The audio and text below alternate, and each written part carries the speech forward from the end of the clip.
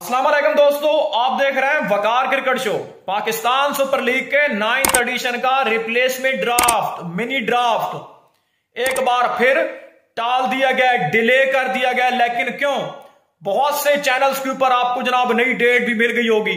लेकिन मैं आपको दावे के साथ कह सकता हूँ कि इससे पहले आपने इतनी informative video related on PSL replacement draft आपने नहीं देखी होगी। इस वीडियो को देखने के बाद आपकी जो सारी कंफ्यूजन है, वो मैं दावे के साथ कह सकता हूँ कि आपकी कंफ्यूजन जो है वो दूर हो जाएगी, क्योंकि आपको सब कुछ पता चल जाएगा, क्योंकि अंदरूनी बात तो आपको किसी ने बताई नहीं है। तो जी हाँ दोस्तों, आखिर डिले हुआ क्यों है? ये सब जानना चाहते हैं। एक बड़ी फ्रेंचाइज टीम का ऑनर ये रट लगा के बैठा रहता है, हालाँकि अनाउंस भी हो जाता है। 25 जनवरी की नाइट को अनाउंस कर दिया जाता है कि अब जनाब ड्राफ्ट 26 को नहीं, बल्कि 29 जनवरी को होगा। लेकिन एक फ्रेंचाइज ऑनर जी हाँ, मैं अली तरीन की बात कर रहा हूँ, मुल्तान सुल्तान के जो ऑनर है, वो फिर भी जिराट लगा के बैठ रहते हैं कि नहीं जी ड्राफ्ट 26 जनवरी को होगा। लेकिन फिर अचानक से ड्राफ्ट डिले क्यों कर दिया जाता है? खैर, पहले भी इस तरह का ड्रामा होता रहता है ड्राफ्ट कभी आगे, कभी पीछे, डिले होता रहता है। लेकिन इस बार ड्राफ्ट डिले क्यों हुआ है, ये सब जानना चाहते हैं। शुएब मलिक जैसा नाम, कैरन पोलार्ड जैसा नाम, टॉम करन जैसा नाम, लुंगी नगीडी जैसा नाम, टिम साइफर्ड जैसा नाम, या नूर अहमद, या और कई प्लेयर्स अगर अनअवेलेबल हो जाए तो फिर तहलका तो मचता है ना, जनाब। शुएब मलिक इस वक्त बड़ी मुश्किल में फंस चुके हैं। जी हाँ पीएसएल खेलेंगे या नहीं खेलेंगे, ये वक्त बताएगा। लेकिन कैरन पोलार्ड का सबसे पहले आपके साथ यहाँ पर यह क्लियर कर दूँ कि कैरन पोलार्ड 10 फरवरी को S A T twenty league का अख्ताम हो रहा है। वो यानी उस लीग के बाद वो सीधा पहुँचेंगे यहाँ पर स्पेशली जो I L T twenty league हो रही है यूआई की, वहाँ पर भी पार्टिसिपेट करना उसका अख्ताम होना है सतारह फरवरी को।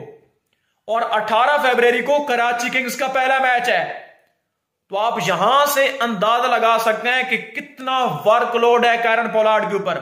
वो पीएसएल से विड्रॉ भी कर सकता है, या कुछ मैचेस मिस भी कर सकता है। तो आप खुद अंदाज़ा लगा सकते हैं कैरन पोलार्ड एक तो सीनियर प्लेयर भी हैं। तो पोलार्ड या तो पीएसएल से विड्रॉ कर जाएँगे, या कुछ मैचेस के लिए वो रेस्ट मांगेंगे मैनेजमेंट से। और वैसे भी उनको सप्लीमेंट्री पिक के अंदर कराची किंग्स ने पिक किया था। अब आता है टीम साइफर्ट का सवाल। पहले तीन मैचेस के लिए बंदा अवेलेबल नहीं है ड्यू टू नेशनल ड्यूटी उसके बाद अवेलेबल है। इसके अलावा, राशिद खान, सबको पता है रूल्ड आउट है, या नवीनुल हक नवीनुल हक तो इब्तदाई आठ मैचेस खेलेंगे, उसके बाद चले जाएँगे। मनिंदु असरंगा पार्सल अवेलेबल है, सबको पहले क्लियर कर दिया था। और इसके अलावा नूर अहमद, सबको पता है रूल्ड आउट हो चुके हैं। टॉम करन, इंजरी की वजह से रूल्ड आउट है। डॉन लॉरस, सबसे बड़ा ये यानी कि मैं समझता हूँ कि प्लेयर है, लाहौर के अंदर का, क्योंकि अगर आप फॉरन में देखते हो तो ये एक बड़ा नाम है डॉन लॉरस की सूरत में।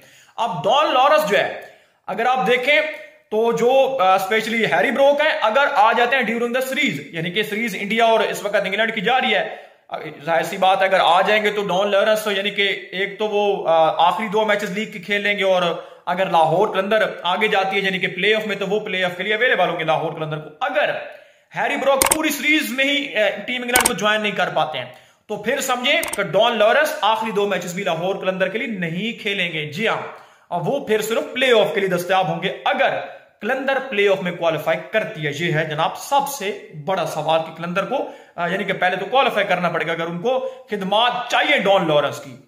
लेकिन लुंगी नगीडी जैसा नाम, अगर पेशावर जलमी को अनअवेलेबल हो जाए तो यार इससे बड़ा धचका और जलमी के लिए क्या है? जी हाँ अब उनके हवाले से भी ये इतलात मिल रही है कि लुंगी नगीडी जो है वो भी अवेलेबल नहीं हो पाएँगे पेशावर जलमी को। नवीन हक पार्सल अवेलेबल है पिशावर जलमी को नूर अहमद अवेलेबल ही नहीं है। और ए, एक नई मुसीबत ये भी है लुंगी नगीडी की सूरत में। तो आप जलमी को भी जनाब अपने प्लेयर्स जो है वो ज़्यादा पिक करने पड़ेंगे और ओवरऑल सबको पता है बारह प्लेयर्स तो हर में पिक होंगे। और इसके अलावा अगर आपको यहाँ पर क्लियर करूँ तो जो प्लेयर्स पार्सल अवेलेबल है तो भाई कुल मिलाकर कहानी बीस से भी ऊपर अब बन रही है कि यानी कितने प्लेयर्स पिक करने हैं।